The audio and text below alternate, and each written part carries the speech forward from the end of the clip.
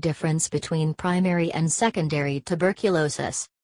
Tuberculosis or TB is caused by the bacterial group Mycobacterium. It is mainly a respiratory tract infection, but can act as an opportunistic infection and a systemic infection in times of reduced or absent immunity. The causative bacterium is a bacillus and the culprit usually is Mycobacterium tuberculosis. The infection is spread through respiratory droplets and sputum. About one third of the population of the world is thought to be infected, but most are asymptomatic, whilst some will present with a late infection and some showing with the initial infection, as well. The prevention of the brain and systemic infection is done through the BCG vaccine which confers protection.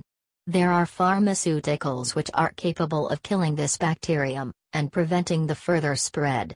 The use of these drugs needs to be carefully monitored and unnecessary use is discouraged due the incidence of multi-drug resistant TB. In this article, we will discuss on the two main varieties of respiratory tuberculosis, namely the primary and secondary tuberculosis.